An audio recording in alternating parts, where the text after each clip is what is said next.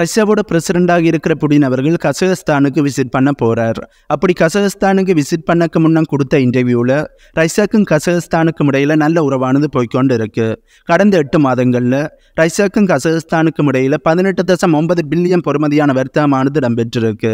கசகஸ்தானோட தலைமையானது சம்மதித்தால் கசகஸ்தானில் அணுமின் நிலையத்தை அமைப்பதற்கு ரஷ்யாவினுடைய ரோசாட்ட நிறுவனமானது தயாராக இருக்கிறார்கள் என்று ரஷ்யாவோட பிரசிடண்டாக இருக்கிற புடின் அவர்கள் சொல்லியிருக்கார். இந்த மீட்டிங்கானது ஏன் பெருசாக பார்க்கப்படுது என்றால் கசகஸ்தானில் நாட்டோவோட ஆனது ஓப்பன் செய்யப்பட்டிருந்தது.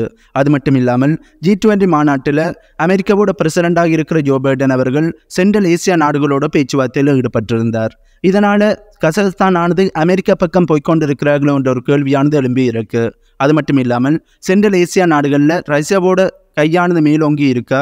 அல்லது சென்ட்ரல் ஏசியா நாடுகள் அமெரிக்கா பக்கம் மேற்குலக நாடுகள் பக்கம் போய்கொண்டிருக்கிறார்களா என்ற ஒரு கேள்வியும் பலர் மத்தியில் எழும்பியிருக்கு இதனால் இதனால தான் இந்த மீட்டிங் ஆனது அனைவர் மத்தியிலுமே பெருசாக பார்க்கப்படுகின்றது. சரி கசகஸ்தான் இப்படி மேற்குலக நாடுகள் பக்கம் போனால் ரஷ்யாவுக்கு என்ன பாதிப்பானது ஏற்படும் என்று பார்த்தோமே என்றால் இந்த கசகஸ்தான் ரஷ்யாவோட இல்லையில இருக்கு.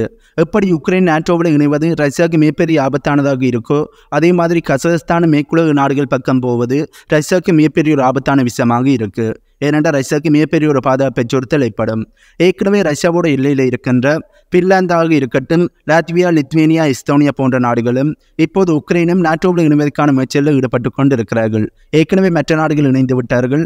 இப்போது உக்ரைன் நாட்டோவில் இணைவதற்கான முயற்சியில் ஈடுபட்டபடியே தான் ரஷ்யாவுக்கும் உக்ரைனுக்கும் இடையிலான போரானது போய்கொண்டிருக்கு அதனைத் தொடர்ந்து ரஷ்யாவோட எல்லையில் இருக்கின்ற கசகஸ்தான நாட்டோவில் இணைவதற்கான அதாவது மீக்குலக நாடுகள் பக்கம் போவதற்கான நடவடிக்கையில் ஈடுபட்டார்கள் என்றால் அது ரஷ்யாவோட பாதுகாப்புக்கு மிகப்பெரிய ஒரு அச்சுறுத்தலை ஏற்படுத்தும்.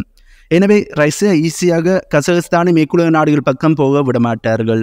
இதே நேரத்தில் கசகஸ்தானுக்கும் ரஷ்யாவுக்கும் இடையில நல்ல ஒரு உறவானது போய்கொண்டிருக்கிறபடியால் அவ்வளவு சீக்கிரம் கசகஸ்தான் மேற்குலக நாடுகள் பக்கம் போக மாட்டார்கள் ஆனால் கசகஸ்தான் ரஷ்யா பக்கம் தங்களுடைய நாட்டத்தை செலுத்துகிறார்கள். அதே நேரத்தில் அமெரிக்கா பக்கம் தங்களுடைய நாட்டத்தை செலுத்துகிறார்கள் என்பது தெளிவாக தெரிகின்றது. ஏனென்றால் கசகஸ்தானில் நாட்டோட ஆஃபீஸானது ஓப்பன் செய்யப்பட்டிருக்கு. இதனால் இனி ரஷ்யாவுக்கும் கசகஸ்தானுக்கும் இடையிலான உறவானது எப்படி இருக்க போகுது என்பதை புடினோட விசிட்டுக்கு பிறகுதான் நாங்கள் தெரிந்து கொள்ள முடியும். எஸ்தோனியாவோட பாராளுமன்ற அரசியலமைப்பு ஆணையம் உக்ரைனுக்கு போரினால் ஏற்பட்ட சேதங்களை ஈடு செய்வதற்காண்டி ரஷ்யாவோட பிரி செய்யப்பட்ட அசற்றை எடுத்து பயன்படுத்துவதற்கான அரசாங்கத்தினுடைய மசோதாவுக்கு ஆதரவை தெரிவிச்சிருக்கிறார்கள் என்ற செய்தியானது வெளியே வந்திருக்கு. இப்படித்தான் மேற்குலக நாடுகளும் அமெரிக்காவும் ரஷ்யாவோட பிரி செய்யப்பட்ட அசற்றை எடுத்து உக்ரைனுக்கு கொடுக்கலாம் என்ற முடிவை எடுத்திருந்தார்கள். ஆனால் இப்போ வரையுமே அதனை உக்ரைனுக்கு கொடுக்கல. இப்படி அமெரிக்கா கடுமையான பேச்சுவார்த்தையில் ஈடுபட்டு அதாவது உக்ரைனுக்கு இந்த ப்ரீ செய்யப்பட்ட அசட்டை கொடுக்கணும் என்று கடுமையான பேச்சுவார்த்தையில் ஈடுபடும் போதுதான் இஸ்ரேல் பாலஸ்தீன் போரானது ஆரம்பிச்சிருந்தது. இதனால் அமெரிக்கா உக்ரைன் மேலே இருந்த கவனத்தை அப்படியே இஸ்ரேல் பக்கம் திருப்ப ஆரம்பிச்சிருந்தார்கள். இதனால் இப்போது உக்ரைனுக்கு ரஷ்யாவோட ப்ரீ செய்யப்பட்ட சொத்துக்கள் கிடைக்குமா என்று கேட்டால் அது ஒரு சந்தேகமாகத்தான் இருக்கின்றது. ரஷ்யாவோட எல்லை பகுதியில் இருக்கின்ற லாத்வியா லித்வேனியா எஸ்தோனியா போன்ற நாடுகள் ரஷ்யாவுக்கு எதிராக ஓவராகத்தான் ஆடிக்கொண்டு இருக்கிறார்கள் எப்படி போலந்து உக்ரைனோடு இணைந்து ரஷ்யாவுக்கு எதிரான நடவடிக்கையில் ஈடுபட்டு கொண்டிருந்தார்களோ அதே மாதிரி தான் இந்த மூன்று நாடுகளும் ஈடுபட்டு கொண்டிருக்கிறார்கள். ஆனால் இதில் ஒரு முக்கியமான விஷயம் போலந்து போலந்துக்கும் உக்ரைனுக்கும் இடையில பிரச்சனையானது ஏற்பட்ட பிறகு போலந்தை பற்றிய எந்த ஒரு செய்திகளுமே இப்போது வருவது கிடையாது.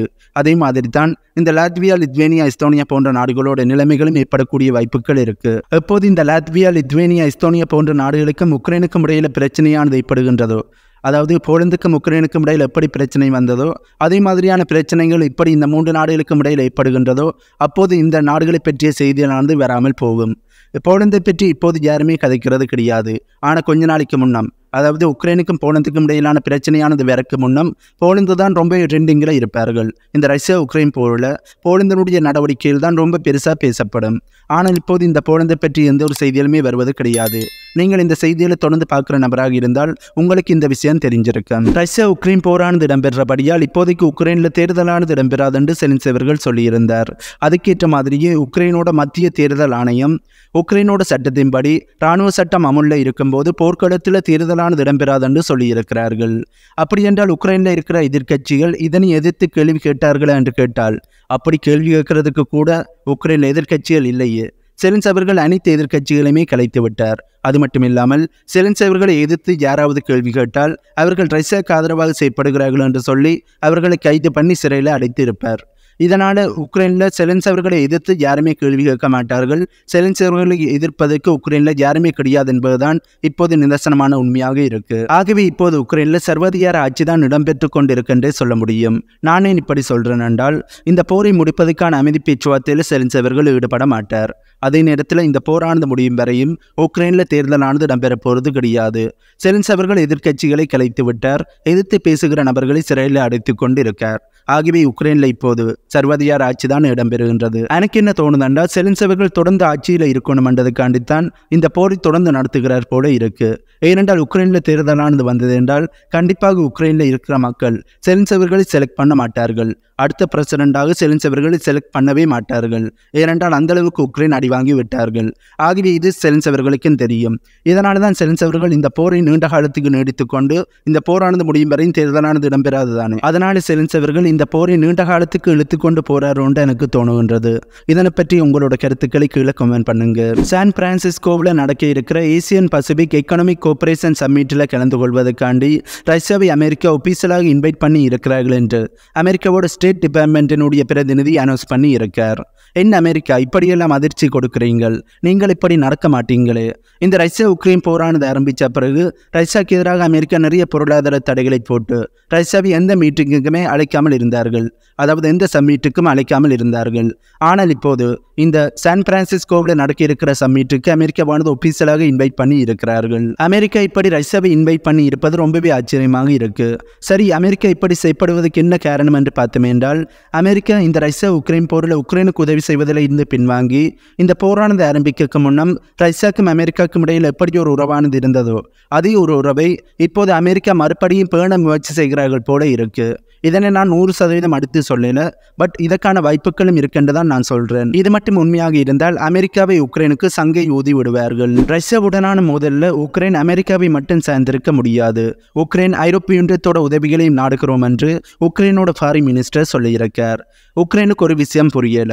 இந்த ரஷ்யா உக்ரைன் போரில் உக்ரைனுக்கு யார் அதிகமான ஆயுதங்களை கொடுத்திருக்கிறார்கள்? அதாவது அதிகமான உதவிகளை செய்திருக்கிறார்கள் என்று பார்த்தோம் என்றால் அது அமெரிக்கா தான். ஐரோப்பிய ஒன்றியமும் உக்ரைனுக்கு தேவையான உதவிகளை செய்திருக்கிறார்கள். ஆனால் அதிகமான பண உதவிகளைத்தான் உக்ரைனுக்கு ஐரோப்பிய ஒன்றியம் செய்திருக்கிறார்கள்.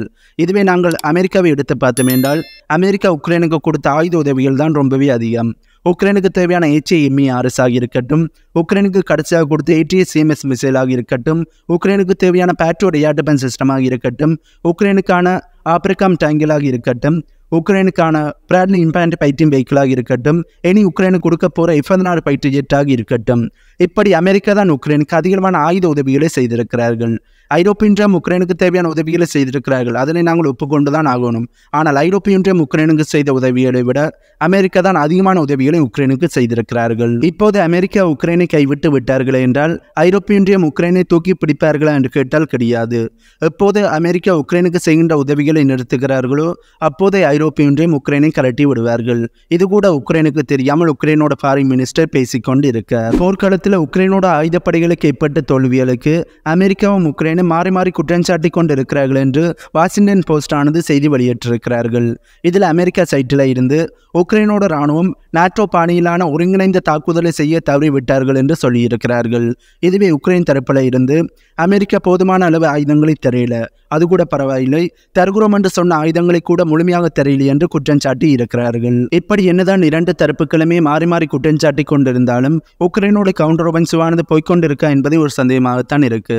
ஏனென்றால் அந்த அளவுக்கு கடுமையான தாக்குதலை ரஷ்யா செய்து கொண்டு இருக்கிறார்கள் ஏற்கனவே உக்ரைனோட கவுண்டர் ஒபன்சிவானது நினைச்ச மாதிரி போகல. இனி இரண்டு தரப்புகளுமே மாறி மாறி குற்றம் சாட்டுவதால் எந்த பிரயோசனமும் கிடையாது. இதனை இரண்டு நாடுகளுமே புரிந்து கொள்ள வேண்டும். உக்ரைன் நிறைய முக்கியமான தோல்விகளை அடைந்திருக்கிறார்கள். எவ்வளவுக்கு எவ்வளவு உக்ரைன் இந்த போரை நீடித்து செல்கிறார்களோ அந்த அளவு பிரதேசங்களை இழக்க வேண்டி நேரிடும். உக்ரைன் இந்த போரை தொடர்ந்து செய்தார்கள் என்றால் கார்கிவ் டினிப்ரோ நிக்கலோ ஒடிசா போன்ற மற்ற நகரங்களையும் உக்ரைன் இழக்க நேரிடும் என்று அமெரிக்காவோட உளவுத்துறையினுடைய முன்னாள் அதிகாரியான ஸ்காட் ரிட்டர் அவர்கள் சொல்லியிருக்கார். இதில் உக்ரைன் மற்ற பகுதியில் இழந்தால் கூட பரவாயில்லை. ஆனால் ஒடிசா பகுதி இழந்தார்கள் என்றால் அது உக்ரைனுக்கு ஏற்பட்ட மிகப்பெரும் இழப்பாக இருக்கும். இந்த ஒடிசா பகுதி உக்ரைன் கருங்கடலை பயன்படுத்துவதற்கு இருக்கின்ற ஒரு முக்கியமான பகுதியாக இருக்கு. ஆகவே இதனை உக்ரைன் இழந்தால் உக்ரைனால கருங்கடலை பயன்படுத்த முடியாது. இதே நேரத்தில் உக்ரைன் இந்த ஒடிசா பகுதியை பயன்படுத்தித்தான் ரஷ்யாவுக்கு எதிரான நிறைய தாக்குதலை செய்து கொண்டு இருக்கிறார்கள். ஆகவே இந்த போரானது தொடர்ந்து நீடிச்சது என்றால் கண்டிப்பாக ரஷ்யா இந்த ஒடிசா பகுதியை கைப்பற்றுவார்கள். இது போன்ற ரஷ்யா உக்ரைன் போரை பற்றிய செய்திகள் மற்றும் முக்கியமான உலக நிகழ்வுகளை தெரிந்து கொள்ள நம்ம சேனலை சப்ஸ்கிரைப் பண்ணி பகுதிக்கு பெல் ஐக்கானையும் கிளிக் பண்ணி வையுங்கள். அப்போது தான் நாம் போடக்கூடிய வீடியோஸை நீங்கள் உடனுக்குடன் பார்க்க முடியும். இன்னும் ஒரு வீடியோவில் உங்களை வந்து சந்திக்கின்றேன்.